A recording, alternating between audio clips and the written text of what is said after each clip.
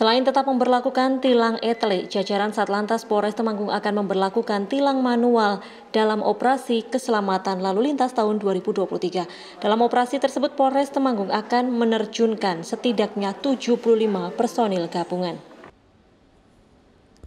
Sebagai tanda dimulainya Operasi Keselamatan Lalu Lintas 2023, pagi tadi di apel gelar pasukan yang dipimpin langsung oleh Kapolres Temanggung AKBP Agus Puryadi di halaman Mapolres Temanggung.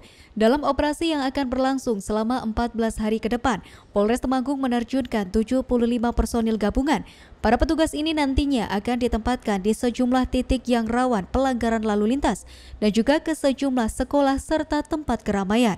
Kapolres Temanggung AKPP Agus Puryadi mengatakan, kegiatan operasi lalu lintas tersebut akan menerapkan dua skema, preventif dan preventif. Para petugas nantinya akan memberikan himbauan ketertiban lalu lintas dan juga penindakan bagi pengendara yang masuk kategori pelanggaran lalu lintas berat baik secara etle maupun manual.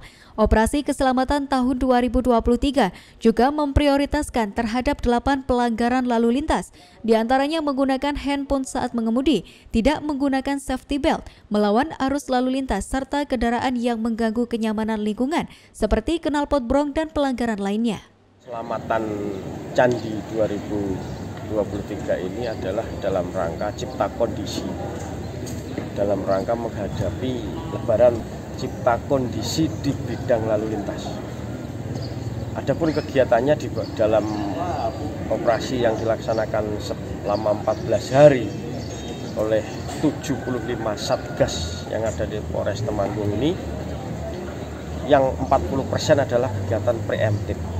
Preemptif itu bisa himbauan, pembagian leaflet, pemberian pemasangan banner, pemberian apa namanya pembelajaran tentang kelalu lintasan ke sekolah-sekolah. Itu yang preemptif. Sedangkan preventifnya adalah ketika itu pelanggaran kecil dan mungkin orang itu hilap maka yang dilakukan oleh Pak polisi lalu lintas dan satgas ini adalah memberikan teguran tertulis. Teguran ini tidak berimbas apa pun dalam arti tidak kena denda kemudian tidak apa namanya masuk dalam etle dan sebagainya. Itu preemptifnya. Namun di sisi lain juga kalau sudah mokong kemudian kelihatan pelanggaran itu disengaja dan sebagainya itu ada 20% dari operasi ini adalah penegakan hukum.